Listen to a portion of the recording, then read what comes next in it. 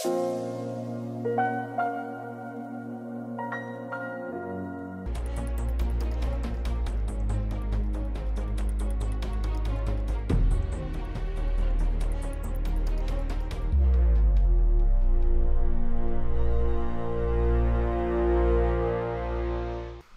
Friends, Jenkins Dota here, bringing you another Dota 2 video on behalf of PVGNA.com, and this is going to be part of the Offlaning with Broodmother in 7.07 video series. And in this video, I'm going to be covering uh, playing Broodmother in the offlane in the laning phase. So basically what I'm going to be doing is just checking out a replay of a, of a game that I played recently in Ranked, where I played Broodmother, and I intentionally picked it against something that was a very difficult lane, being a Jakiro Sven Pudge lane, three heroes with AoE, heroes who are very good at killing, and then Sven who's very, very good at laning against Broodmother. Uh, and you can see that the very first thing that I do is I walk into the lane, I place a web, uh, right in front of the tower in the exact same location that I talked about in the uh, web placement video. And then I place another uh, another web right above that, kind of giving me a lot of tree space on the left and right to play with, and then also uh, kind of a cliff on the left uh, by the river to play with. And then I just kind of go over and walk over to the right, place a ward down because I know that they're not going to see me because, um, well, I'm in the trees, of course and uh, they can't TP and stuff. So I'm just going over here to kind of check to see if I can walk walk up the cliff to see if I maybe need to adjust my web at all. Uh, I put my what I'm going to be buying in the early phases of the game into my quick buy, just because I'm going to, you know, want to buy those items ASAP if I'm going to get ganked or something like that I'm about to die. It's much, much easier to click those when they're right there. And for some reason, my mid laner didn't grab this bounty rune, which was just great for me. I was pretty happy about that. So I just, you know, pick it up. I'm laughing my way to the bank. And uh, the very first thing that you want to do is you want to block, try to let the range creep go first, just because a lot of the time people do push against Broodmother just because she's such a pain to deal with. People just kind of right-click the creep wave uh, instinctively. Uh, and if you let the range creep go first, then you pull the creep wave back into the tower and you have webs all the way back here. So that's that's really nice. So it kind of just makes that kind of effect happen faster. So what I do at the start of the laning phase is I just position myself kind of in the trees and I pull the creep wave around a little bit. So I pull the creep wave to the edge so maybe I can get out and last hit it but I'm just kind of getting a getting a gauge of, of where the supports are at in the lane if they're gonna if they're gonna kill me. So you can see that I'm not playing really really aggressively in the lane. I just want to kind of see what these guys want to do in this lane, and I've noticed that they're just basically running at me like madmen, which is good for me. And I kind of decide that okay, if I can just get some last hits in this lane and get up to those spiders, not only am, I going to crush them, but if I can just get some last hits in this lane, then they're going to not be ganking any other lanes. They're going to lose all the other lanes because we have people who are doing things in those lanes and they don't. Uh, so I put a web up here in the kind of the left area because there's so much tree space over here to move in. And I just right click the Jakiro. There's nothing that they can do. Even if they stun me, Pudge is so far away that uh, I'm just going to run into the trees and uh, so that you can see that he stuns me. He uses the, the, the fire on me, and I just run into the trees. And even if they came and looked for me, I would just run even deeper into the trees. So you can see that my web placement in this in this uh, replay is actually differing from what I suggested in the web placement video, and that's because this is not an ideal situation for me. You you would rather have your web placement be very very greedy and just be in the lane and get as many last hits as, as you can, but that's not always possible. So I put it up in the trees so that way they would waste their they would waste their spells on me. They would, they would waste their time uh, trying to go on me. And as you can see, they're kind of going for me here, dusting me here, which is really weird. But I run over the cliff and there's nothing that they can do about it. This web is great for them trying to go on you, but the web kind of up up um, more so by their tower uh, so the second web that I put here, it's not great for if they actually try and go on you. So that's why I put that second web to the left. But since my the creep wave is pushing into my tower, I destroyed that web that I put there, only temporarily, and it was worth it because I, I got them to waste some of their spells on me, and because I got some last hits and I, and I got some spiders doing that. But now, now since I actually have uh, I have a lot more space to, to work with in this lane, I am just sitting on the cliff and I'm spawning spiders and I have the I have the webs in the middle of the lane. They're greedier webs. So since I'm laning against a Sven, and I think if you're laning against a lot of AoE you can and, and, heroes who are trying to kill you, you can kind of go for the boots first instead of Soul Ring, and then you go for level 2 in the webs, because you can see that I'm just sitting here last hitting under the tower, right? What's the point in in getting uh, any spiders and, and using my, my, my one clarity to get spiders here when I can just go for a second pointed web, get a lot more regen, have a lot more space to move around in the lane, uh, be a lot harder to kill because I basically have almost 500 movement speed. And then I'm getting last hits anyway, so I don't really need the spiders for that. So I'm going to wait until a little bit later to get those spiders. And there's a lot of situations where you do that. And since I have the extra points and webs, I can now juke around this Jakiro. He's struggling to put his fire blast on, or his, his, uh, his breathe fire on me, and that goes for a lot of supports. You can just kind of trade with them really, really well if you go for a second pointed webs. However, if you're if you're having you know an ideal laning situation, if you're completely crushing the lane, which a lot of the time does happen on Broodmother, you can go for that second pointed spiders and you can start building up that spider army. But there's not really a point if you don't have a Soul Ring. So I'm just kind of getting these last hits as, as you know as much as I can to uh, to build me into the uh, into the Soul Ring, and you can see that a very, very big thing that I'm trying to play around with in this game, and I think that you should do this in almost any brood game because people are going to try and kill you. Uh, even against counters, people are going to be trying to, uh, you know, use their AoE abilities on you and, and just, you can see that he's faking a stun on me. So I'm spending a lot of time making sure that I'm, I'm at the very least close enough to the cliff that I'm just a second away from, uh, from stepping onto it.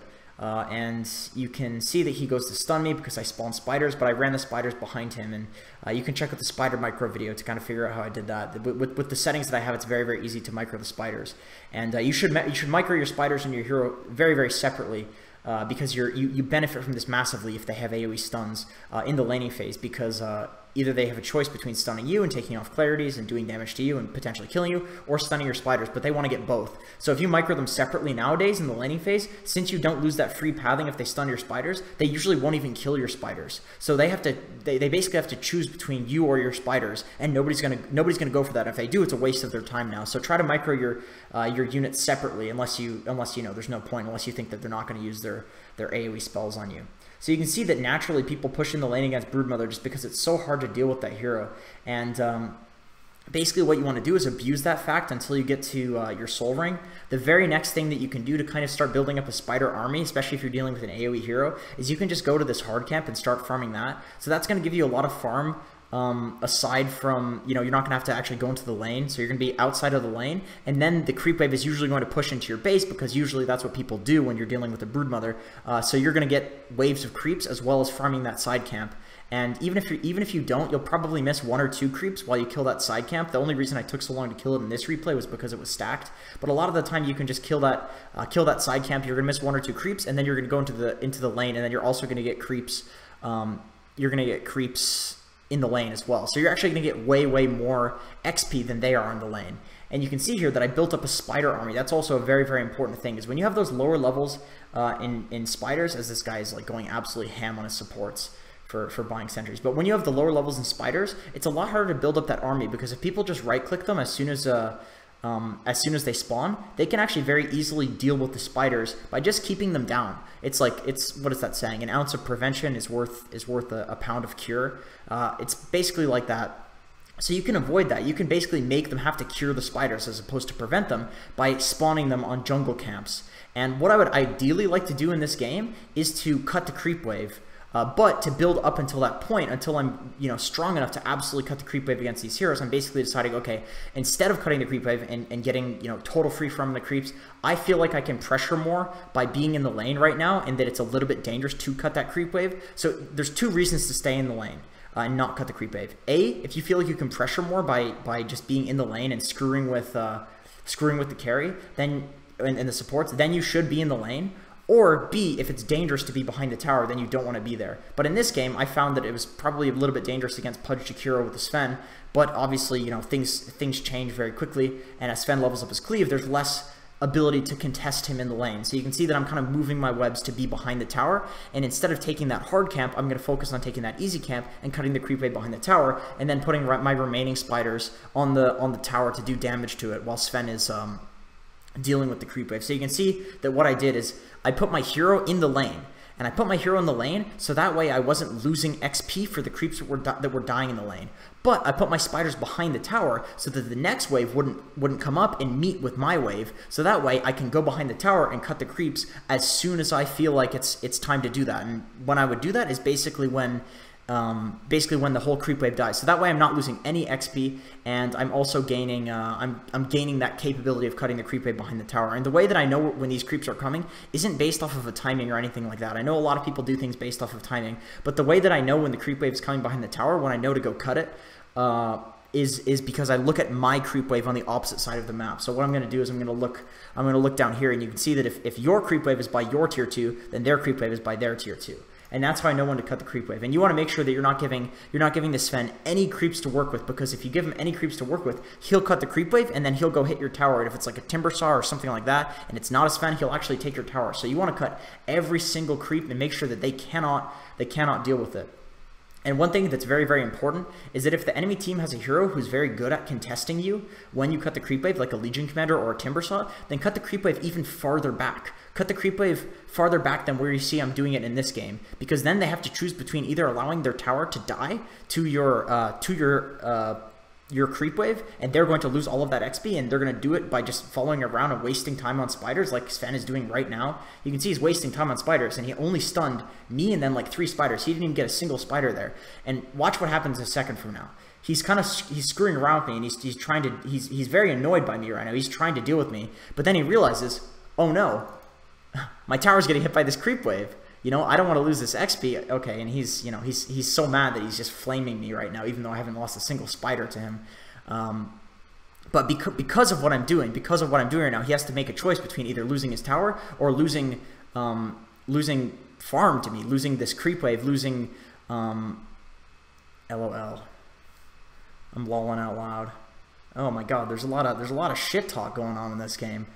Anyway, like I said, so he has to he basically he has to choose between losing his tower and getting the same farm as me, or not losing his tower and getting way way worse farm than me. And since he contested me, I realized okay, this guy's kind of he's going to contest me. I'm going to make it a lot worse, a lot worse for him to to contest this. And this is one thing that you can do um, on Broodmother as well is number one, you can do this thing where you're cutting the creep wave very, very far back with spiders. So if he wants to contest this, he's going to lose his tower. Guaranteed, he's going to lose his tower. So he realizes at this point it's not even worth it.